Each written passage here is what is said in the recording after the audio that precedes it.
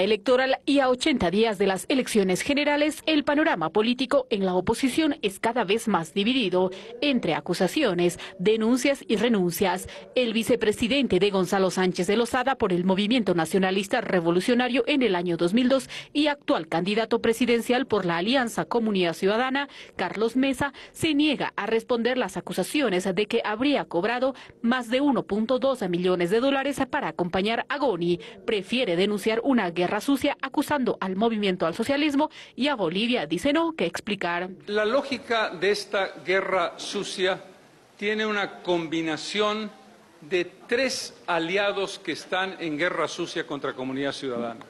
La alianza del gonismo con Óscar Ortiz, con el MAS, con el movimiento al socialismo. Esos tres aliados están estableciendo una secuencia de sucesiva guerra sucia, la acusación de los 10 millones, la acusación de que le pagamos al señor Rodríguez para que se baje de su candidatura, las afirmaciones del portavoz del gonismo. Porque realmente me parece curioso que el señor Mesa se queja de que lo ataquen, dice, el gonismo, el masismo y Óscar Ortiz. Les quiero decir al señor Mesa que el que fue vicepresidente del gonismo fue él, yo nunca estuve con el gonismo. El vicepresidente del Estado Álvaro García Linera aseveró que las cuentas del candidato de Comunidad Ciudadana tienen un manejo oscuro y cochambroso, que el pueblo merece una explicación. Del señor Mesa surgió con el tema del financiamiento de su campaña. Su propio vocero, recientemente estrenado, dijo que tenían 70 millones de bolivianos para financiar su campaña.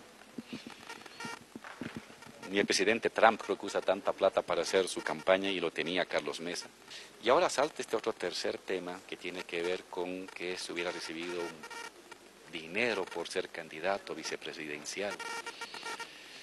Y han mostrado documentos oficiales de la transferencia y de un dinero que no tiene justificación alguno y que aparece por arte de magia en cuentas bancarias de una asociación que tenía el señor Mesa en torno a un canal cosas muy raras que tampoco tienen una explicación. El movimiento al socialismo y Bolivia, dice, no niegan una guerra sucia y piden que explique las denuncias de un cobro de 1.2 millones de dólares en el año 2002 para ser candidato del MNR, que fue denunciado en los últimos días por su exaliado político Mauricio Balgázar, quien denunció que el aspirante al sillón presidencial extorsionó y cobró. Bueno, esto responde simplemente a algunos ataques de algunos eh, miembros también de oposición y creo yo que en ese, en ese trajín de ataques es mejor creo que quedarse, bueno, eh, eh, callado, seguir adelante con una campaña la cual está encarando Carlos Mesa. Hay una gran contradicción del señor eh, Mesa. Él acusa al gonismo cuando él ha sido vicepresidente del gonismo. Acusa al masismo cuando él ha estado al lado del masismo y parece que sigue de vocero de la causa marítima. Oscar eh, Ortiz y Bolivia dicen no, no tienen nada que ver, por lo tanto ahí hay una gran diferencia y vemos grandes contradicciones por parte del señor Mesa. Totalmente falso la aseveración que hace Mesa. Él tiene que responder ante las acusaciones que ha hecho el yerno de Goni, el señor Balcázar, que ha acusado que prácticamente Mesa, cuando fue candidato a vicepresidente con Goni, fue alquilado, arrendado como persona, ¿no?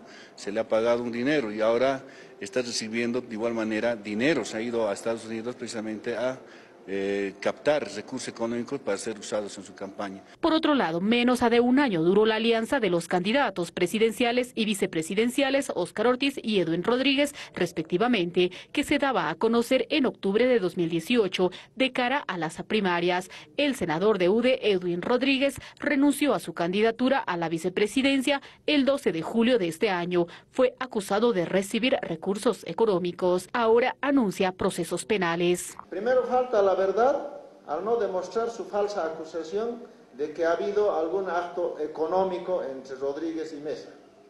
Eso es ser mentiroso. Eso es faltar a la verdad. Y por eso le desafiamos que presente una prueba, estamos esperando, una.